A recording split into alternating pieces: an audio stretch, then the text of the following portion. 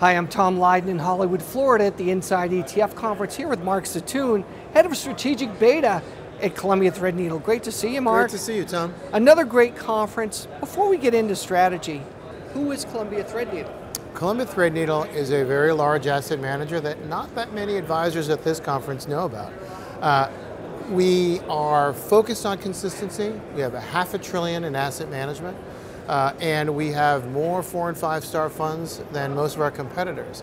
Uh, the key to that, though, is consistency, and that's what plays into our strategic beta solutions. And you're a player in the ETF space as well. Absolutely. Yeah. So let's talk a little bit about strategies, and one in particular. You have a recently recognized municipal bond strategy yep.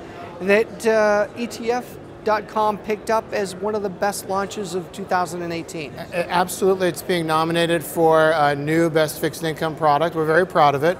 Just like our fund Dial, which focuses on diversified fixed income, yeah. uh, we tapped our five-star active manager on the municipal side, Catherine Stienstra, and we developed a passive multi-sector municipal bond product. So a lot of people have been talking about fixed income here, but the muni market especially with the fact that the Fed has taken their foot off the yeah. gas, it's really good looking right now, it's it? A, it's great, and I think that the when people awaken to their tax bills in April, they'll realize that now's an even better time to be in munis. Sure. It's a very resilient asset class, but it's also an asset class that's evolved over time, and people think of it as a sleepy conservative uh, sliver in the portfolio, and it's not. There's a lot of interesting places to go fishing there. Sometimes, though, with traditional municipal indexes, you can be really heavy in the subsectors of the muni, muni market. So walk us through that. So we take our insights from our active side, and we've learned that there are a lot of places, such as revenue, that are an exciting place to put money behind.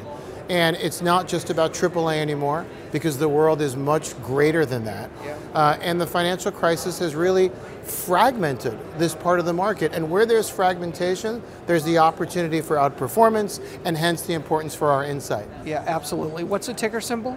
M-U-S-T, must. Excellent. Well, Marc, it's always great seeing you. Thanks. It's great seeing you.